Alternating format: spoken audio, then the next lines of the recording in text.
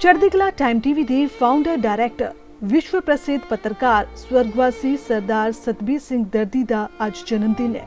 ਉਹਨਾਂ ਦਾ ਜਨਮ ਅਦਾਰਾ ਚੜ੍ਹਦੀ ਕਲਾ ਦੇ ਚੇਅਰਮੈਨ ਸਰਦਾਰ ਜਗਜੀਤ ਸਿੰਘ ਦਰਦੀ ਦੇ ਗ੍ਰਹਿ ਵਿਖੇ ਮਾਤਾ ਜਸਵਿੰਦਰ ਕੌਰ ਦਰਦੀ ਦੀ ਕੁੱਖੋਂ 11 ਮਾਰਚ 1978 ਨੂੰ ਹੋਇਆ ਸੀ। ਸਰਦਾਰ ਸਤਬੀਰ ਸਿੰਘ ਦਰਦੀ ਨੇ ਮੋਦੀ ਕਾਲਜ ਪਟਿਆਲਾ ਤੋਂ ਗ੍ਰੈਜੂਏਸ਼ਨ ਕਰਨ ਤੋਂ ਬਾਅਦ ਅਮਰੀਕਾ ਵਿੱਚ ਐਮਬੀਏ ਦੀ ਡਿਗਰੀ ਹਾਸਲ ਕੀਤੀ।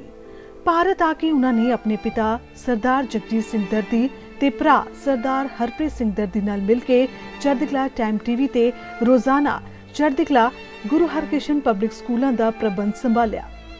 ਸਨ 2003 ਵਿੱਚ ਭਾਰਤ ਦੇ ਪ੍ਰਧਾਨ ਮੰਤਰੀ ਦੇ ਕੈਨੇਡਾ ਦੌਰੇ ਨੂੰ ਕਵਰ ਕਰਨ ਲਈ ਗਏ।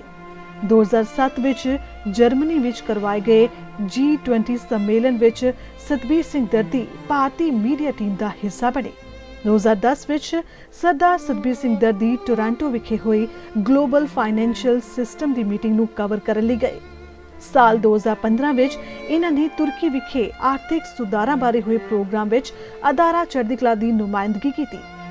ਯੂਕੇ ਵੈਲਕਮ ਮੋਦੀ ਪ੍ਰੋਗਰਾਮ ਵਿੱਚ ਪ੍ਰਧਾਨ ਮੰਤਰੀ ਸ਼੍ਰੀ ਨਰਿੰਦਰ ਮੋਦੀ ਨਾਲ ਮੀਡੀਆ ਟੀਮ ਵਿੱਚ ਸ਼ਾਮਿਲ ਹੋਏ। ਇਸੇ ਤਰ੍ਹਾਂ ਦੱਖਣੀ Africa, France, Brazil, Manila, Philippines, Tokyo New Zealand Berlin ਆਦਿ ਦੇਸ਼ਾਂ ਵਿੱਚ ਜਾ ਕੇ ਅਦਾਰਾ ਚੜ੍ਹਦੀ ਕਲਾ ਦਾ ਮਾਣ ਵਧਾਇਆ। ਸਰਦਾਰ ਸਤਬੀਰ ਸਿੰਘ ਦਰਦੀ ਪੱਤਰਕਾਰੀ ਦੇ ਖੇਤਰ ਲਈ ਚਾਨਣ ਮੁਨਾਰਾ ਸਨ। ਉਹਨਾਂ ਦੀ ਮਿਲਾਪੜੀ ਸ਼ਖਸੀਅਤ ਦਾ ਹਰ ਕੋਈ ਕਾਇਲ ਹੋ ਜਾਂਦਾ ਸੀ। ਸਰਦਾਰ ਸਤਬੀਰ ਸਿੰਘ ਦਰਦੀ ਨੇ ਅਧਾਰਾ ਚੜ੍ਹਦੀ ਕਲਾ ਦੇ ਚੇਅਰਮੈਨ ਸਰਦਾਰ ਜਗਜੀਤ ਸਿੰਘ ਦਰਦੀ ਵੱਲੋਂ ਦੱਸੇ ਮਾਰਗ ਤੇ ਚੱਲਦਿਆਂ ਚੜ੍ਹਦੀ ਕਲਾ ਟਾਈਮ ਟੀਵੀ ਰਾਹੀਂ ਸਿੱਖੀ ਦਾ ਪ੍ਰਚਾਰ ਪ੍ਰਸਾਰ ਵੱਡੇ ਪੱਧਰ ਤੇ ਕੀਤਾ ਹੈ। ਦੱਸ ਦਈਏ ਕਿ ਸਰਦਾਰ ਸਤਬੀਰ ਸਿੰਘ ਦਰਦੀ 16 ਫਰਵਰੀ 2021 ਨੂੰ ਇਸ ਫਾਨੀ ਸੰਸਾਰ ਨੂੰ ਅਲਵਿਦਾ ਆਖ ਗਏ ਸਨ। ਉਹ ਆਪਣੇ ਪਿੱਛੇ ਇੱਕ ਬੇਟਾ ਏਕਮਵੀਰ ਸਿੰਘ ਤੇ ਬੇਟੀ ਸ਼੍ਰੀ ਜਪਜੀ ਕੌਰ ਤੇ ਪਤਨੀ ਗੁਰਲੀਨ ਕੌਰ ਦਰਦੀ ਨੂੰ ਛੱਡ ਗਏ।